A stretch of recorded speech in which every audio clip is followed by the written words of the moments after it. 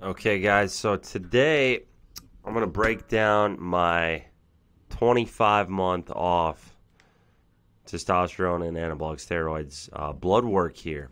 So this was taken on December 6th. It is now December 15th. This was 11 days out from this meet coming up. So we're going to see how everything looks here. So it's interesting. Anyway, what I got checked here, ins fasted insulin. So 4.3 you're going to see. That is really, really good. That is, uh, you know, Paul Saladino talks about this a lot. Fasted insulin is probably the most important thing to check on blood work. Um, it's a really cheap test, doesn't cost much. It's like 10 bucks. And it really shows how insulin sensitive you are. So he, I think Paul's always like 2.5 or something like that. But so I'm not quite as insulin, like he's like mega insulin sensitive, as low as you could possibly be. But 4.3 is really good. Um, you just want that number as low as possible. So that was really encouraging to see because nowadays a lot of the research they're showing is that it's insulin resistance that is the root cause of heart attacks, diabetes, cardiovascular disease. So LDL was long thought to be the culprit, but a lot of the research now is showing that it's insulin resistance. And this is one of the this is the number one test you can take to see if you're insulin resistant. So 4.3 really happy with that and diet hasn't been tremendously clean and it still was 4.3 so I was like, "Wow, that's good."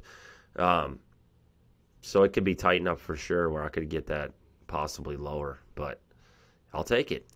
C reactive protein 0.7. So this was uh, quite low as well, but there could be a little inflammation going on, which C reactive protein kind of shows uh, a greater picture of the inflammation levels in your body.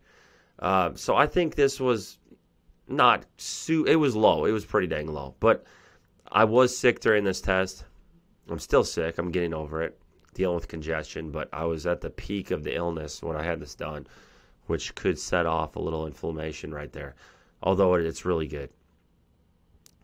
Now let's actually go down to the NMR lipid profile test, which is kind of cool because it shows a breakdown of everything. So LDL was 1359, so it's kind of high. But like I said, LDL is not the end all be all of what they once thought it to be. 132 here. It's not, you know, it's not great, but it's not terrible. Triglycerides 68, HDL 68. So we got bad cholesterol 132, HDL 68, roughly a 2 to 1 ratio, not bad at all. Um, I'm not going to stress over that, guys. I'm really not. It's it's one of those things where it's like LDL, the research is showing, is not what it once was. And I was on a statin at certain times, but I haven't been on for a while. So, pretty happy with it overall. Now, HDL was in the very the HDL particle count. Hot, it was at the high end of the reference range, which is the lowest cardiovascular disease risk. So that's what's cool about an NMR chart. It'll show you this breakdown. It'll show you like exactly where they think you're at as far as your cardiovascular risk. So low cardiovascular risk here, small LDL particle number, um, 416. It was 212 when I was on a statin, so it was really low. But again, that's in the uh, probably 65th percentile for cardiovascular risk. And LDL size, again, is in a good range where they're bigger. You want the particles to be bigger. Larger cholesterol particles are much less risk than smaller cholesterol particles. Then we go down here to the insulin sensitivity chart, and I'm in the top 25th percentile with large VLDL.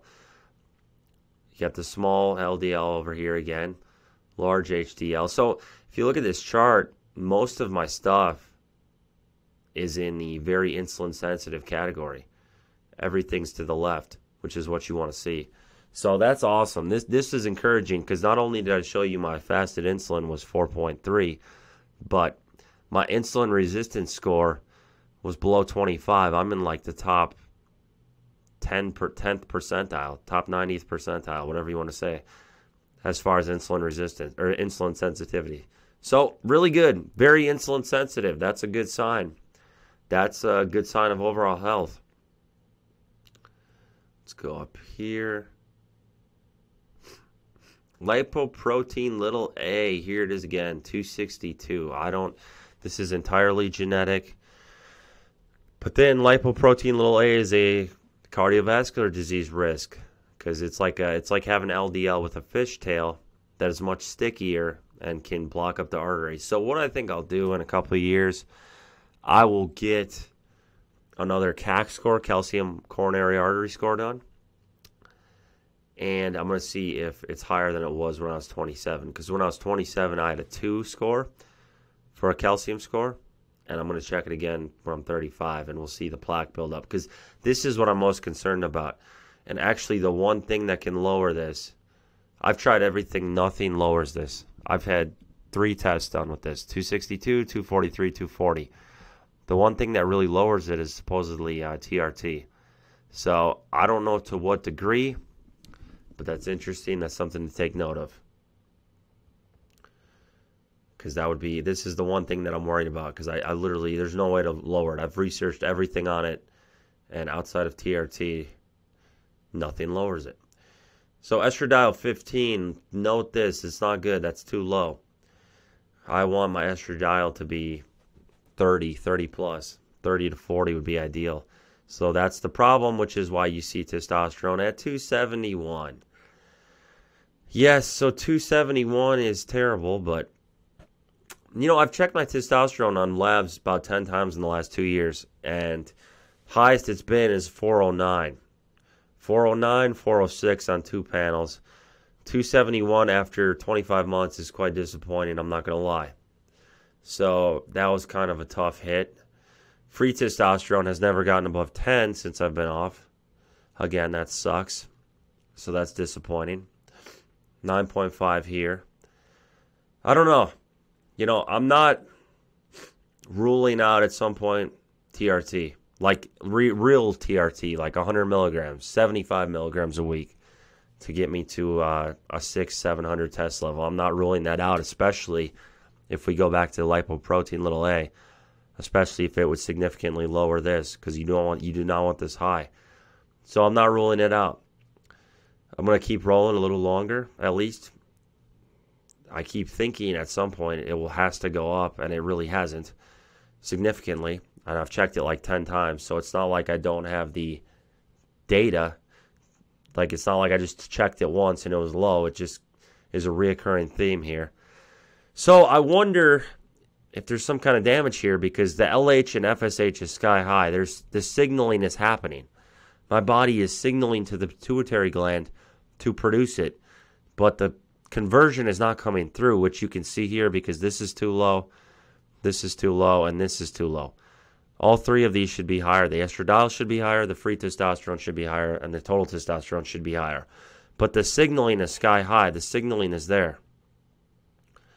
So there's some kind of damage, I think, in the in the loop with what's going on here with the pituitary gland from the nine years of cycling, because LH being this high could even be an indicator of the damage because my body's trying to signal to produce it, but it's not coming through. And that's what I think is going on because all these are, are sky high, but there's just not the conversion. So disappointing. I don't know. It is what it is, guys. I'm uh, gives you a lot to think about. Hemoglobin 5.1, really good. A- A1C, I should say. So very happy with that. Again, showing I'm very insulin sensitive. Quite happy with that. Iron was pretty much the same as last time, 278. Um, 87 iron saturation was a little lower, but it's it's all those were all normal. TSH, this is the lowest it's ever been in my life, which is good. You want to lower TSH, that means healthier thyroid output. Um, so I ran an experiment. I took high dose iodine for a year. Um, I think it was seven, seven and a half milligrams of iodine and seven and a half milligrams of potassium iodide. Took it for a year. My TSH got up to nine. Then I came off, it dropped to 4.3, and even longer off, it's at 2 now. So it, I believe the experiment worked because iodine, when you're taking it, will give a false reading where your TSH is very high, but then it comes down afterwards. So it appears to have helped my thyroid function because I have never been even close to 2.0 for uh, TSH, which is awesome. That's uh, it's starting to get down to where it should be for a normal person. So really happy with that. T4 came up. I mean, this is this is really good stuff here. I'm really happy with that. Cholesterol again, we're kind of going back to this LDL 134. I'm not going to worry about that. HDL 67, triglycerides 63. So triglycerides again, great indicator of insulin sensitivity. So my triglycerides, my insulin, and the whole insulin sensitivity panel were all super good. Um, really happy with that. Not on any statins or anything. A to G ratio, I'm going to have to look more into again because this was high last time and it's always high. So I don't know what's the deal there because I truly don't know enough about albumin. I know these are proteins, globulin and albumin, but don't know exactly why globulin is so low relatively and why albumin is so high. I have to look into that. AST, ALT, liver enzymes were a little higher because I had been training hard in the days preceding it. Same with creatinine, which gets affected by muscle mass. Um, creatinine is basically showing your kidney function and that sort of thing, but it's skewed skewed by muscle mass. It's skewed by heavier body weight, so you got to get cystatin C. But I, I'm feeling fine about my kidneys. I'm not worried at all about them. Glucose 85, BUN 15 so that stuff's all all right. Eosinophils is uh, elevated with allergies, which are constantly a thing where I live. The neutrophil to lymphocyte ratio is elevated as a inflammation marker because of this cold. This again was when the cold was at its peak, so the neutrophils tend to go up, whereas you see usually it's around 2.9. That's also affected by the white blood cells, which are eight, showing that I was sick. Those go up as well when you're fighting off an illness. Hemoglobin, uh, red blood cells, and hematocrit went up a little bit as well, probably from the vitamin B complex I've been taking. So it's kind of cool here. Like, guys, you should check your NMR panel every once in a while. It's kind of interesting to see. It'll show your insulin sensitivity, cardiovascular disease risk, and all that kind of thing. So it's, it's kind of cool. Get it checked out. But yeah, that's pretty much the panel. Um, let me know what you guys think. I'll be competing Saturday and appreciate you guys watching.